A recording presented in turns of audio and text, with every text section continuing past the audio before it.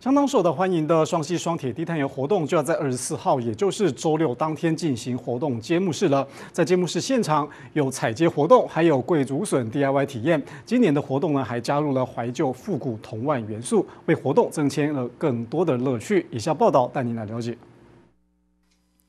双溪双铁低碳游包括低碳教育、低碳行为、碳汇券。绿色交通、垃圾减量、绿色消费及低碳商店，今年更加入怀旧复古铜腕元素，为活动添增新色彩。那个，我们这次一年一度的双溪低碳旅游哈，那我们这次的主题是双溪农村乐。怀旧铜万村哈，在这次的低碳旅游里面呢，我们会有很多在五零年代、六零年代哈，大家那个时候用就地取材哈，然后是自己自行制作的铜碗，没有花钱的哈，让大家重温在那个时候的各种铜碗哈，比如水枪、竹蜻蜓哈，呃，手编的竹笛。活动主轴以骑乘自行车、电动车或搭乘中型巴士，穿梭花田与乡野田园，透过导览的方式观赏及深入了解双溪地区的历史人文特色与双溪环状自行车道周遭自然景观，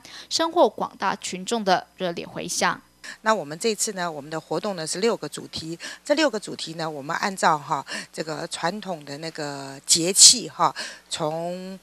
这个小满。芒种、夏至、大暑到白露，哈，那针对各个节气呢，我们设计呢不同的主题活动，有池畔音乐会，有贵族享宴，啊，有牛郎织女会，哈，还有那个诶端午中端午跟中秋的活动。今年双溪低碳旅游将扩大农村体验课程，并以怀旧同万村作为形象包装。六零年代前后，伴随着台湾音娜成长的是取自大自然或废物再利用的自制铜碗。五六零年代的双溪经济繁荣，双溪音娜有许多种铜碗。现在将和大家一起回到过去，一同玩竹枪、报纸风筝、竹水枪，找回儿时的回忆与欢乐。